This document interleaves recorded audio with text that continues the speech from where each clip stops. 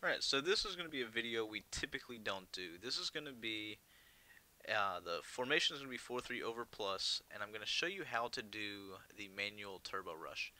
This turbo rush is going to become very popular in MUT, um, even in ranked games as well. For those of you that were familiar with the Dime 146 concept, this is right there along those. It's not as good, um, as that in the 335 was, but it is still a good blitz. Now, a lot of people are going to be running one play because that is what is posted elsewhere, and that is going to be the free safety will 3. You don't need to run that play though. So I wanted to give you guys not only the heads up on what's going to become popular and what you're going to see, and you will see this concept used out of that play, but I'm going to show you how to recreate that concept in any play you choose. So you could use, for instance, cover 1, you could use cover 2, cover 4, like, like I said, anything that you really want to use. And so we'll come out, we'll come out and cover 2 first. So the thing that you want to do to set this up is you want to base the line press, pinch the defensive line and crash them to the left. Blitz the outside linebacker that is on the left. And then that becomes the actual setup. Now to do the actual turbo, for those of you that don't remember, on Xbox it is right trigger and left bumper.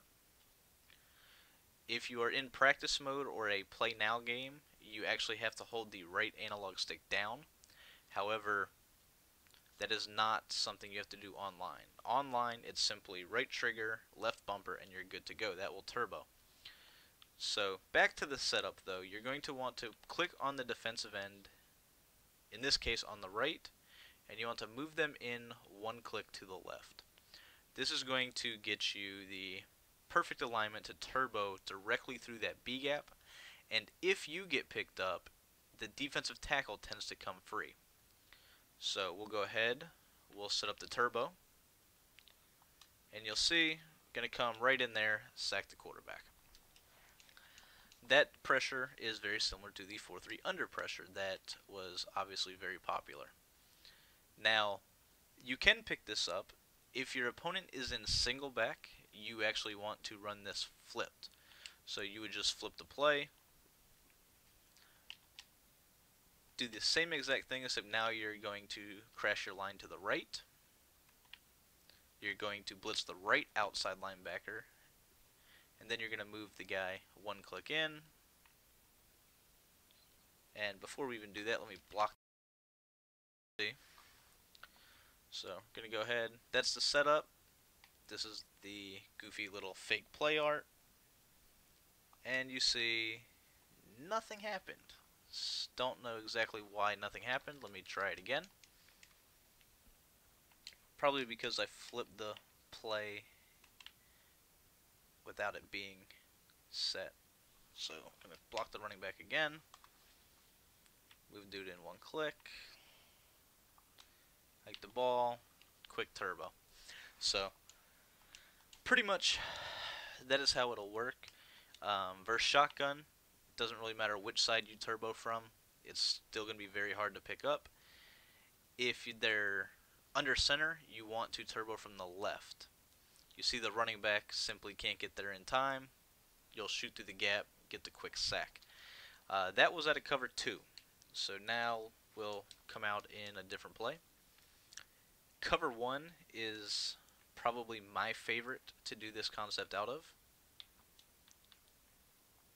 once I find it. So cover one will come out in a flipped. Back out in single back. Alright, so cover one is essentially set up for you already. You just want to, in this case, you just want to pinch the D line, crash them to the right, move the defensive end in one click, and then set up for the turbo. That's the actual play art. That's the bluff. And you'll see eh, I almost came in, got picked up slightly. Ultimately, I was still able to get the sack. So, do it again.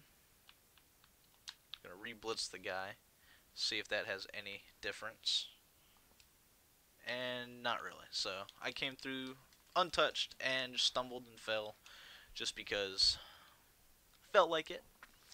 But you can see that this concept is very good. Um, unfortunately, EA was not able to patch the concept itself. They were able to patch specific formations, and we are stuck with this shenanigans again. So, just wanted to give you guys the heads up on it.